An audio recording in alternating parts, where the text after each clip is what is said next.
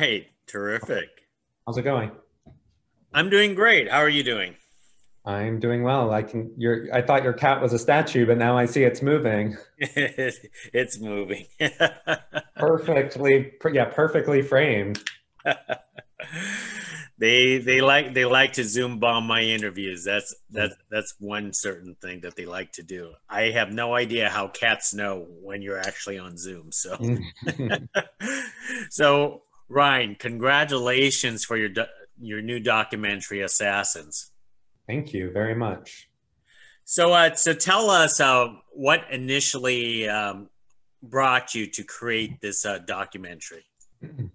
Uh, yeah, so I made a series in 2017 called The Keepers uh, for Netflix, which was a true crime series that was very popular that year. And so I was coming off of the heels of that, saying, um, you know, I don't want to make anything true crime. It was it was about the murder of a nun um, in Baltimore. Um, I don't want to make anything true crime anytime soon, if not ever again. Um, and that was my plan. And I started making a film about Dr. Ruth, which is definitely not true crime. Um, and at the end of 2017, I was approached by a journalist named Doug Bock Clark, uh, who had just written an article in GQ magazine um, that was about a deep dive into this assassination of Kim Jong Nam, uh, and specifically was looking at the life of Siti Aisyah, who was one of the two female assassins who's from Indonesia.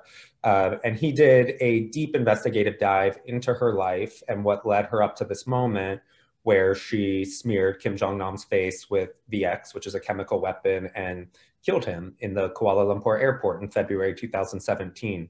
Um, and Doug reached out to us and said, uh, you know, I saw the keepers. All these filmmakers are trying to option my article right now.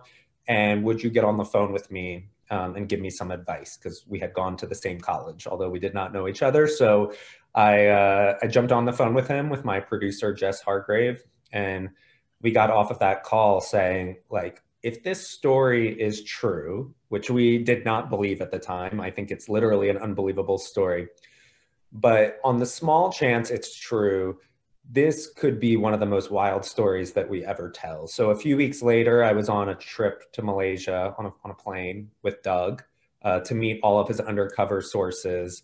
And it was just supposed to be an exploratory trip, but I took a camera um, and I left that trip thinking we we have to make this. Unfortunately. so before before this journey of yours, what what knowledge did you have about the assassin? What was your impression? Very little. So the assassination happened in February 2017. So if you look back at that microscopically, that's Trump's first full month in office. So we in the US were being dominated, uh, the airwaves, the headlines with, with Trump um, and understandably, right? It was a crazy month. Uh, so, what is probably one of the biggest political assassinations of our lifetime, I think, got a quick headline in the US and then it disappeared very fast. So, that was my personal entry point. When Doug called me, I said, like, oh yeah isn't that the isn't that the one that involved the two female assassins and that were that were north korean or part of the north korean regime and that was my memory of it. And most people that I tell about my films say the same thing, at least most Americans. They kind of have a glimmer of recognition, um, but they don't know anything about what happened to those two women. And most people assume that the two women were guilty. Understandably, it was a public political assassination, and the women confessed that they did it. So that was my entry point to it. Was that's all I remember. Uh, but as we started spending time, mo- more time in Malaysia, which I've spent a ton of time in Malaysia over the last two and a half years covering this story, every time we returned, we would learn more and more, or we'd see more and more evidence that began to open our ideas to the idea that these women might be innocent. And, and by innocent, I mean, these women have always said, yes, we killed this man. We wiped a chemical weapon on his face and it led to his death but we thought we were on a reality show when we committed that crime. So we didn't know what we were doing, um, which is probably the most absurd defense any of us have ever heard in our entire lives for a murder. Um, and that's really the crux of our film. Were they were they trained political assassins or were they women who really thought they were on a reality show when they performed this act? And that's that's what the film interrogates.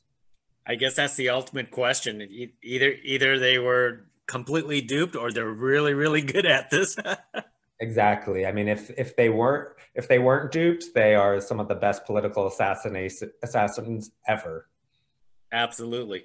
So when you started this documentary after speaking with Doug, when you traveled to Malaysia, did you basically went under the impression that they were innocent, or did you basically um, try to keep a neutral mind or a little bit of doubts? I, I definitely didn't think they were innocent, although Doug's article did have that angle that she may have been tricked. But I am a natural skeptic. That's probably why I went into a career that's about about truth telling. Like I I will be a skeptic until the last second on almost everything. And so I was not convinced. But the story was so absurd and Kafka-esque that I was drawn to it regardless, thinking this could make a great film even if they are guilty. Um, and so that was that was how it began. And you know, I if when people see the film, they'll see that you know, I wouldn't, I wouldn't, I wouldn't know, know to call them our main characters, but some of the main characters are the legal teams of these two women. And the legal team started recognizing that uh, their women had all the odds stacked against them. And that means that's life or death stakes. In Malaysia, if these women were convicted, they were going to face death by hanging. And everyone was expecting that that was the direction it was going. Everybody I met on the ground, whether it was journalists, officials, off the record were saying like, oh, they're going to die. These women are going to be convicted. And the more we started to film the trial, the more it looked like that. It's not a jury system in Malaysia. It's one judge. And everything the judge was saying was emphatically not believing that the women could have been tricked. So all signs reporting were pointing towards an execution. And I think their lawyers recognize that.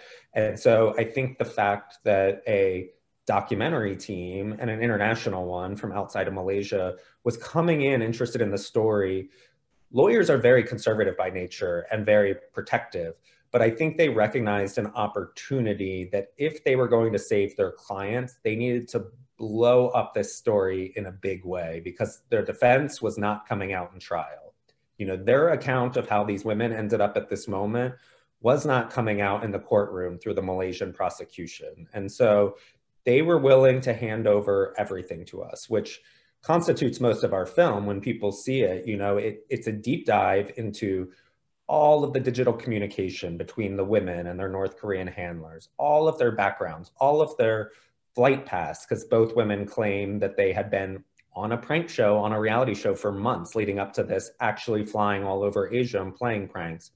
Well, the lawyers were willing to hand over all of that to us. And so once I started to see all of that, it became that was that was when I started to think they might be telling the truth. So the skeptic in me started saying, if these women were trained assassins, we would see something, some shred of evidence in all of this communication that showed awareness about what they were about to do. Um, and instead, you know, I don't want to I don't want to ruin the film for people, but I think the lack of evidence to show the women's um, involvement or awareness of what they were about to do becomes very important towards the end of their trial.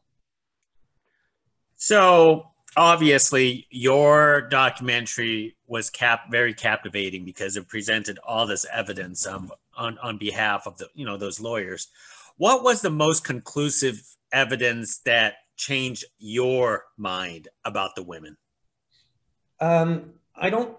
I don't think there can be a conclusive piece of evidence that that exonerates the women. To me, what's important, like there would be nothing to they they admit that they did it. So the, the, the only evidence that could show that they were totally innocent would be something that showed that they didn't do it. But that wasn't even square one. Square one was we assassinated him. So there's nothing that's ever going to say they didn't do it. So what became more important than evidence was lack of evidence to me. Like the question then was, well, then the prosecution needs to prove that they knew what they were doing based on the defense. And time and time again, no matter how many thousands of pages of documents we poured through, no matter how many text messages we read, we never saw anything. And by the way, the prosecution never brought up anything in the courtroom that said these women knew what they were doing. The only shred of evidence the prosecution brought up that pointed to the women's guilt was that they washed their hands immediately after the attack because they had a chemical weapon on their hands and they ran to a bathroom and washed their hands. And that makes them look guilty, like they knew that the substance was harmful. Uh, but then we have all of the text messages recruiting these women over months and conditioning them that are training them to do that wash your hands after the attack or they had been playing the same prank obviously not with vx on regular people all over asia with johnson baby oil on their hands so their hands were always sticky after the attack they always went to bathrooms and washed it uh, so that's the only shred of evidence but i think that that does not that does not point to their guilt. I don't think that behavior alone should should lead to someone's execution. So, how did you want to approach um, this trial? Because it was obviously a circus trial. It's like a you know trial of the century over there in, in Malaysia. I mean, how how much access? How how crazy was it to be in that courtroom? it was it was crazy. I mean, what was what was crazier about it is I always say I've made films in the U.S. about trials, and I always say I'm never going to do another one. They're so unpredictable. They they always take at least the double the time that you're told from the beginning. Um, and this was another trial film, but it was compounded by the fact that the trial was happening in Malaysia, which is took me 30 hours to get to, and so the hardest part of making this film was that on a moment's notice, you know, the lawyers were call, would call, say, a ruling's coming out on Monday, and I would have to drop everything and try desperately to make my way to Kuala Lumpur for that moment. Um, and so that happened repeatedly over the two years. But, you know, it's, it was a trial of the century. It was very well run. Like all of the all of the it was a very organized trial in the sense that the judge was very in control and all of the lawyers the prosecution included but both defense teams were very high level lawyers. So it wasn't a circus in the sense that it was um, laughable or clownish. It was it was a circus in the sense of like why is the truth being withheld. And by that, I mean, why does the prosecution seem hell bent on pointing at the women as the killers in this, but totally ignoring that any North Koreans played any role, even though it's the easiest thing in the world to prove? Um, and that kind of becomes a central question of the film, too, is why is Malaysia covering for North Korea and seemingly out to convict these two women and sweep this case under the rug. Great. And you also had access to the two women um, during this documentary. How did you manage to convince them to speak to you? Because this was a very enduring type of a experience for them. A lot of people would not even want to speak of their experience. Yeah, I mean, you can imagine. So these women were told, uh, you know, by what they thought were Japanese YouTube producers, we're going to make you famous. And, you know, one of them, Doan Thi Huong, the Vietnamese woman, had been desperately seeking fame for the last 10 years. And, and the other woman, um, Siti Aisyah, the Indonesian woman, had had a very hard life up until this point, was a single mom coming from work in sweatshops and sex work, and was constantly seeking a better paycheck and more money for her family. Um, and that's you know if you trace both of their paths that's what led them um, to this moment and someone saying we're going to make you famous. And that led to the the worst part of their entire lives. They're on trial literally to save their lives. They're going to be hanged for this decision that they made. And so suddenly they have an american filmmaker coming to them saying no no no trust me. I'm not like those people who just tricked you I'm legitimate and I really am trying to help you. I'm trying to get the truth out. And so one of the most challenging parts of this film was gaining their trust. And it was very difficult because I didn't have access to them at the beginning. They were on death row in a Malaysian prison in solitary confinement. So I would see them ushered into trial every day, you know, in bulletproof vests, surrounded by soldiers with AK 47s so that the women wouldn't be assassinated. Uh, and then I would see them leave the courtroom. Um, and so I don't want to ruin what happens in the film, but the moment I do get access to them, they were both very wary of me and understandably. And it wasn't like that took a matter of seconds. I had to build that trust over time. I had to prove myself to them. They had to try me out in many ways off camera. Um, and thankfully, they both decided to participate in the film. Um, but I totally understand their reticence. And frankly, you know, besides our film, I think they're, they're, for two women that were seeking fame, their spirits have been completely broken in that type of way. And I don't think either of them will ever be seeking that again. So, what's your personal opinion about the national players of like North Korea and Malaysia overall on how they handled the, this situation? Was it was it basically impressive or kind of doubtful? What what is it your your personal opinions?